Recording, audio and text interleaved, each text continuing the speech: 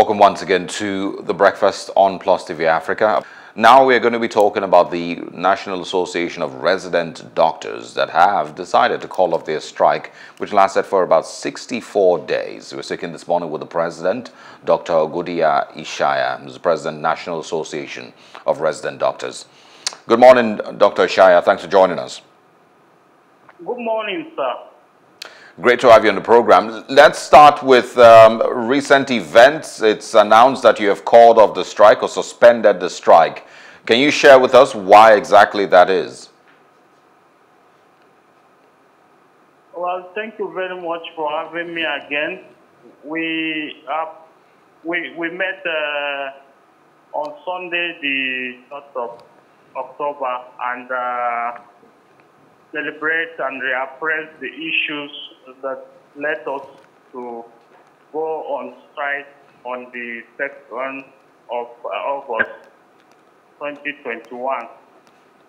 While having re reappraised the progress that was made from both uh, the federal and the state government, and particularly noting the posture of government and some of the commitments that they met. It, uh, the NEC, the emergency next resolved that uh, we should suspend the strike because some of the items in our demands were stalemated because of the ongoing strike and also the invocation of the Article 43 of the Trade Dispute Act by the federal government. So we uh, resolved that we should uh, suspend the strike for a period of six weeks so that we can give uh, the government time to implement some of those things that we were at stalemate with them. Okay, uh, before we go into details, because I know I've, gotten um, a release that, uh, that was put out by the NARD, um, I want you to first, you know, talk about what the effect of the strike has been in the last, you know, two months. Um, how much has it affected healthcare delivery in Nigeria? Well, uh, the strike have uh, been very, were very effective, um, and it was able to force most of this commitment that we have gotten. We actually regret that we have to go on strike to be able to force the government to do some of these things that they could actually do it without uh, letting us to embark on any strike action. Um, when we embark on the strike action, the government adopted a posture of not wanting to meet with us, and uh, we were taken to the National Industrial Court so that's almost of the deliberation, or rather engagement that we were supposed to have with the government. So with uh, the recent posture of the government of uh, wanting to come back to the negotiating table and uh, implementing some of those demands that we uh, went on the strike for, we felt it was uh, good for us to resume and start rendering services to those Nigerians who cannot afford to, to go abroad for medical tourism or that cannot afford the bills of uh, private uh, hospitals. So that was uh, the most of the reasons that we have to uh, suspend this our strike. All right. Uh, also speak now on um, some clarity with the, the moves that the government has made so far uh, that made the NARD think it was fine that they, of course, suspend the strike. Uh, what steps has the government currently taken? The, move that was uh, initiated upon the government side that made us suspend the strike was that, um, you know, just as I mentioned earlier, they revoked the Article 43 of the Trade Dispute Act and said they were not going to pay off uh, even the medical residency training who uh, uh, asking the government to pay. And some of the uh, positions of the government uh, before before this payment was made was was was was not the one that we could easily trust them with. Uh, because uh, the the medical residency training count, uh, areas areas rather was captured uh, under service-wide vote. Yes. And we were uh, not comfortable with the fact that it was under service-wide vote because service-wide vote is non is nobody's uh, budget. So um, they said that they weren't going to pay us until we resume back to work. And that was clearly a position that can be, uh, anybody can suspect. First, you have captured the medical residency fund into a service-wide fund, which is no, uh, no uh, we can't lay claim on it. And then you are saying you will not pay us until we resume back to work. So it was a very suspicious move and the government maintained that position and also maintained that they were not going to pay us our salary. But with recent engagement, the government was able to commit and start paying the medical residency fund, and they were open to discussion on the withheld salaries. So we felt uh, with this one, with other issues that will actually require that we, are, we should go back to work before uh, the payment will be effected. We put everything together and reappraised all the issues, and we felt that we should give the government uh, six weeks to, uh, to, to, to, to, implement those uh, provisions that, that uh, we, we, we recently agreed with, with them. Now, I want you to share, um, you know, clarify exactly the challenge with the, uh, is it GIFMIS now, GIFMIS um, and IPPIS. Um, what, what is the challenge that the NARD has with uh, uh, the payment platform GIFMIS? Well, that's uh, the other part I was telling you that we had a stalemate on, that uh, we view it that we had to give some window to see the implementation. You know, they were, uh, this, uh, our resident doctors who were hitherto on GIFMIS platform. Yeah. Most of them have been captured on the IPPIS platform. But they need to be paid at least a month's salary on the IPPIS platform before their arrears will be pushed into their account. And we realize that the government have adopted the position that they will not pay us because we are on strike. So we got to a position where we are at stalemate. So we now resolved that, okay, within these six weeks, the government would have been able to pay them at least a month's salary and into their account and then push uh, the, the, their arrears uh, subsequently.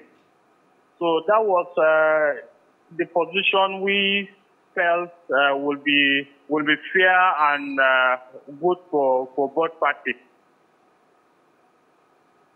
Okay, and and is there um, some level of trust that the NARD has with the government? Because it's not the first time that a strike has been suspended, um, only for the NARD to once again go back on strike after the government failed uh, to, of course, fulfill the uh, promises that were made.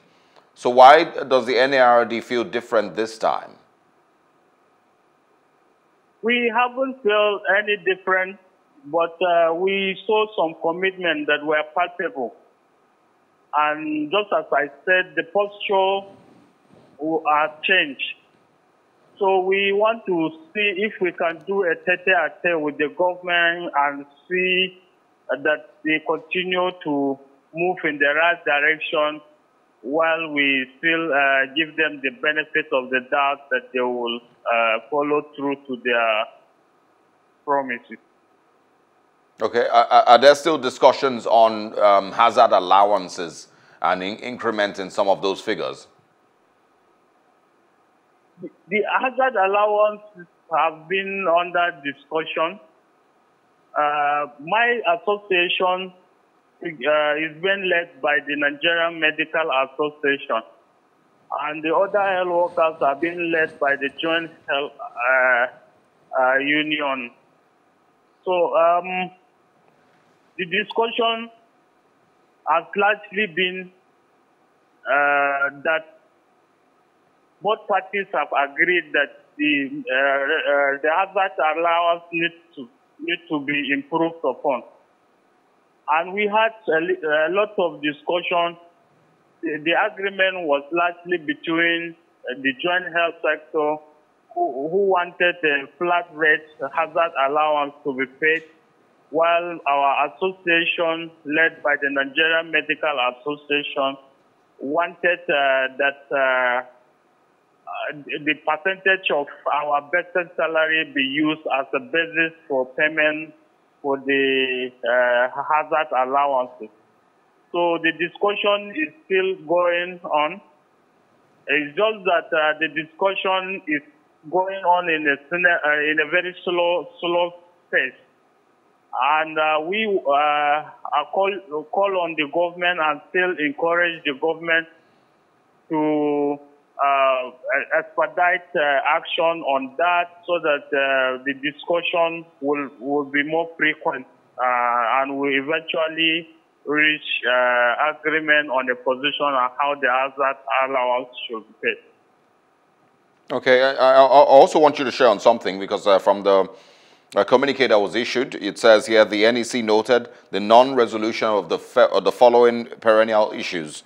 It says non-payment of salary arrears or salary shortfalls of 2014 to 2016 to her members despite several engagements with the federal government. Is there a likelihood that uh, the 2014 to 20, uh, 2016 shortfalls will be paid? Um, the government position on that was that uh, they want all the health, uh, the union within the health sector to be treated as one, because all all all of uh, the health sectors um, union are the government is owing them some amount regarding uh, that 2014, 2015, 2016. So um, we had the discussion and it was agreed that it has been, it, uh, it has been captured. So um, it was uh, for the head of finance, was a uh, Minister of Finance rather, to activate processes of uh, getting that money paid to all uh, the unions, including our our union. Okay, I'm, I'm, I'm just going to keep pointing out some of the, the things that uh, have not been uh, resolved yet. Uh, there's also um, uh, a challenge with the uh, de delay in rather in the payment of death in service insurance benefits to next of kins of the fallen doctors or the doctors who lost their lives um, while in service. And that also includes COVID-19 inducement allowances. Um, you know, is there, these discussions, discussions are still ongoing? Yes, the discussions are ongoing. For instance, the death in service uh, benefit. We uh, discovered that uh, so, some next of kin to those uh, our disease colleagues have not activated the processes from their uh, from their hospitals. So, but those who have actually activated and completed it was uh, some of them were paid, and uh, we agreed on the fact that we will ensure that those processes will be activated from uh, the hospitals, and then we'll, we'll follow it up uh, with the government to ensure that uh, the debt in service benefits have been paid to the next of kin. Uh, Dr. Shaya, can you, can you, if possible, clarify with Nigerians um, how much exactly um, gets to um, the, the, the next of kin? Sorry, I can't get, I didn't get that, sir. I'm asking if you can clarify uh, with us, if possible, um, what the amount that goes to next of kin is. How much is it? Hello? Can you hear us, Dr. Ishaya? No, I cannot get you here. Can you hear me now? Yes, I can hear you. I'm asking if you can clarify, if possible, how much exactly is paid to next of kin of doctors uh, that die in service? Oh, my dear, I can't get that. Okay, uh, let, us uh, talk about something else. I'm, I'm, guessing we'll come back to that. Um, before we come back to that, uh, tell us a little bit more about uh, the um, brain drain um, that is happening across the Nigerian health sector.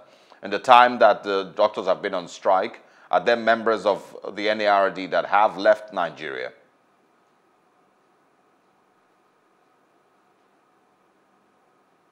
Dr. Shaya, can you hear us? Hello? Can you hear me clearly? Yeah, I can hear you now. I'm asking that you speak a little bit about the brain drain and doctors leaving Nigeria to work in other countries. In the period that um, you've been on strike, have there been many more doctors leaving?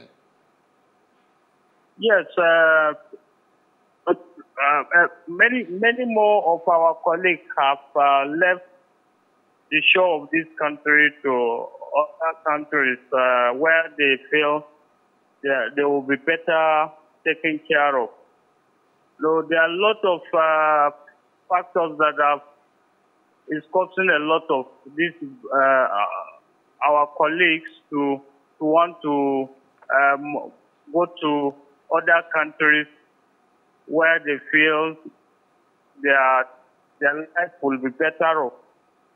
Um, you if you look at part of this our demands, what we are trying to fight is actually factors that is pushing them away you can you don't expect that uh, uh, a health worker or a doctor is working in an environment whereby he has not paid for like uh, 20 months, uh, 10 months or, or 4 months as it is.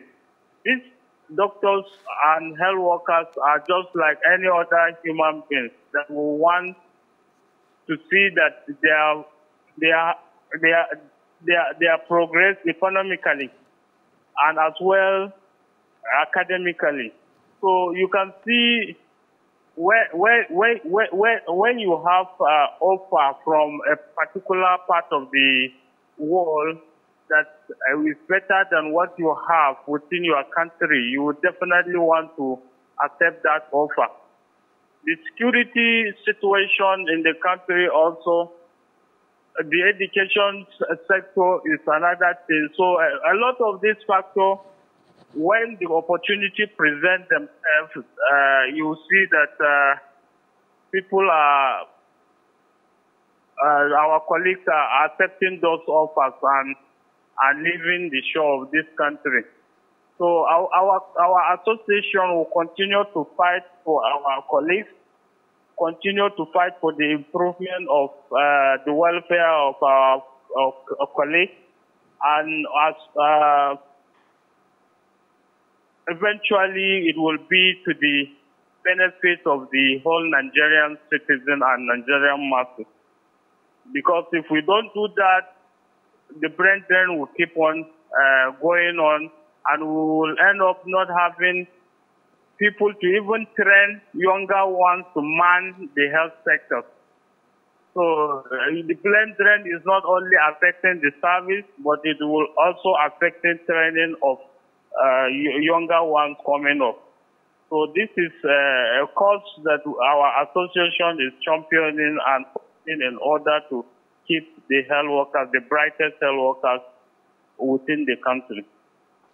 Uh, it, also share your thoughts on the, the challenges on, at the state level, because it's not just a federal government problem now. There are certain state governments that have also failed to pay doctors, I believe. Um, how is that also being addressed? Yeah, we, we really appreciate the efforts of some state governments.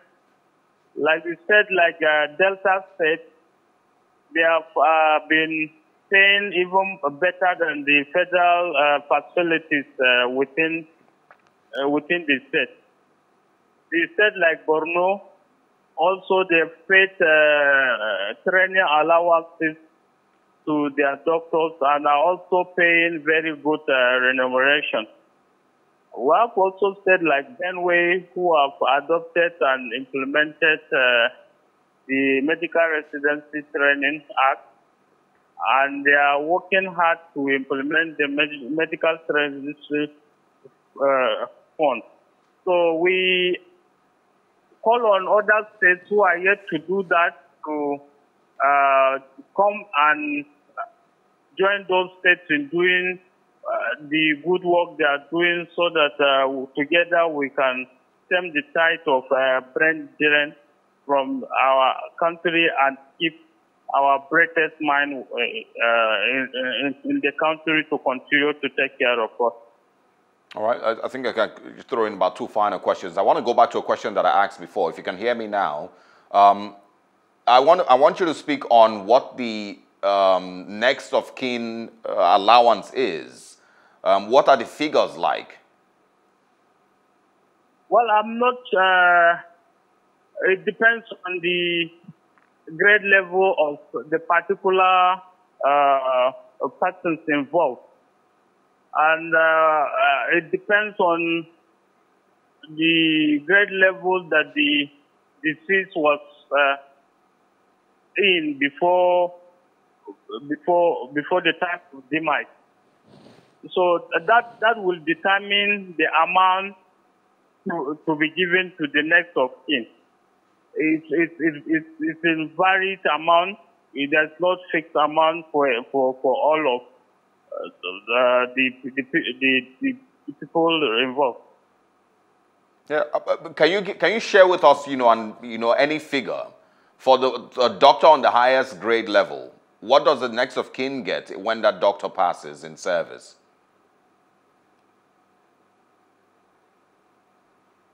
Okay, the figures, the number of people who have died. No, no, not, not, the number. Dr. Shaya, this is what I'm trying to yes. do. I'm, this is what I'm trying to get Nigerians to understand. When we lose a doctor in service, either because of COVID-19 or because of, you know, occupational hazards, what exactly does the family get to benefit um, and that's some of the conversations that we're having this morning, um, and you're also having with the government. So I'm trying to create a picture here. Is it up to a million naira that the next of kin gets for a doctor that dies in service, the highest level, you know, um, of, um, uh, um, of a doctor? Um, is it up to two million naira? Is it a hundred thousand? That's what I'm trying to get here. Can, can you share with us any figure? Yeah, that, that is why I told you that it depends on the grade level of the colleague that died. Yeah, so, so, so a doctor on the highest grade. Hello? All right. Um, Dr. Ishaya, what happens after six weeks if the government fails to um, fulfill its promises? Well, after six weeks, uh, if the government failed to fulfill the promises or we didn't see meaningful progress on what uh, we agree with the government, we are going to revert back to our NEC and the NEC, the NEC will take the appropriate decision and will communicate it to Nigeria. Okay.